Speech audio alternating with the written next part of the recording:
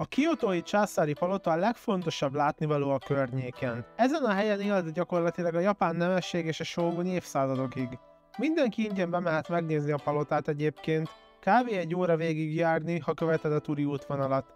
Vannak bent nagyon szép helyek is, és bár nem az egész palota járható be, egy jó túra van összerakva oda bent. A palota egyébként egy mocsok nagy parkban van, ami még annál is nagyobb, mint amekkorának látszik, és van itt aztán tényleg minden a szentélytől, a tónát, az ingyenesen meglátogatható múzeumig minden. Ezt a helyet látnod kell, hogyha Kiotóban vagy.